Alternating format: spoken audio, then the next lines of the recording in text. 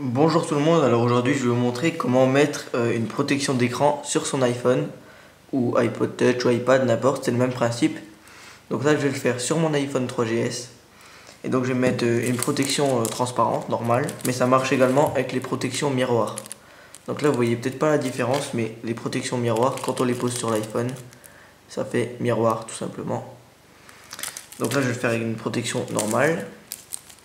Donc vous aurez également besoin de petits chiffons.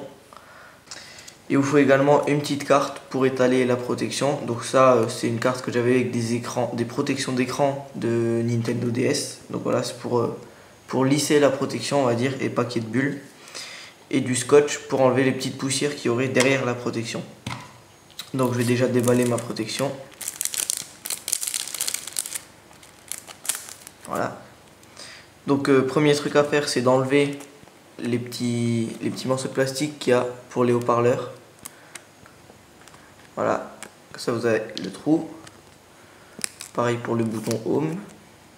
Donc là, on voit une étiquette où c'est écrit 2. Donc ça, c'est le truc enlevé en deuxième. Et ça, c'est en premier. Donc là, c'est écrit en anglais, enlever euh, ce film plastique avant l'application. Donc, ah première chose à faire, c'est bien nettoyer son écran. J'allais oublier le plus important. Donc, prenez un petit chiffon et vous nettoyez bien vraiment jusqu'à ce qu'il n'y ait plus une seule poussière. Donc, une fois qu'il n'y a plus de poussière sur votre écran, on peut enlever donc le premier film plastique. Voilà, en évitant de toucher bien sûr ce qu'il y a en dessous. Prenez sur euh, les contours. Voilà. Donc ensuite vous le retournez dans ce sens là pour pas qu'il y ait de poussière évidemment. Donc là on va commencer par se placer au niveau du bouton Home, de bien le placer. Non. Donc là c'est le moment le plus long, il faut avoir un peu de patience. Voilà, une fois que c'est comme ça, on prend la carte et on lisse.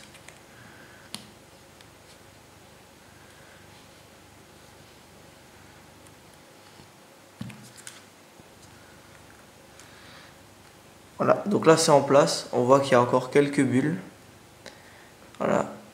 Non, vers là, il n'y en a pas trop. Ouais, là. Donc en fait, je sais pas si vous voyez bien, mais il y a une petite poussière en dessous. Donc c'est là qu'on va avoir besoin du scotch. Donc tout simplement, vous prenez un petit morceau de scotch. On va lever la protection. Et avec le scotch, on va enlever la poussière. Donc une fois qu'il n'y a plus du tout de bulles, donc euh, en vous servant de la petite carte, vous pouvez prendre aussi une règle. Donc ce qu'il va falloir faire, c'est bien tenir la protection en bas. Bon là il reste une grosse bulle, mais c'est pas grave. Donc bien tenir la protection pour enlever le petit 2. Parce que si vous l'enlevez d'un coup, il y a toute la protection qui part avec. Donc bien la tenir, genre euh, du côté là et du côté là. Et tirer sur l'étiquette.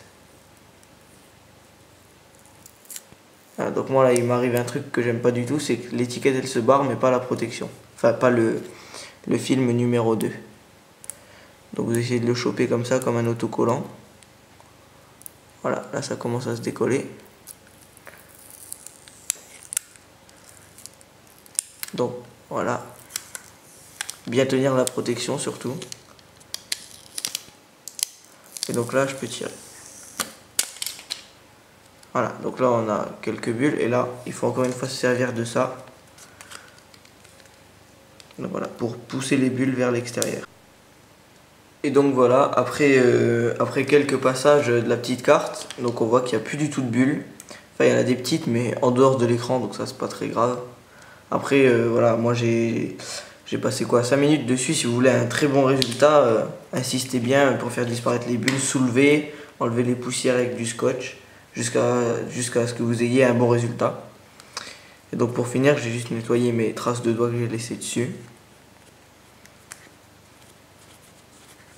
Voilà. Et donc là, c'est parfait. Voilà. Donc merci d'avoir regardé cette vidéo. Vous pouvez vous abonner à notre Twitter ou à notre page Facebook. Et vous pouvez aussi vous abonner à notre chaîne YouTube si nos vidéos vous plaisent. Et donc euh, à bientôt pour une nouvelle vidéo.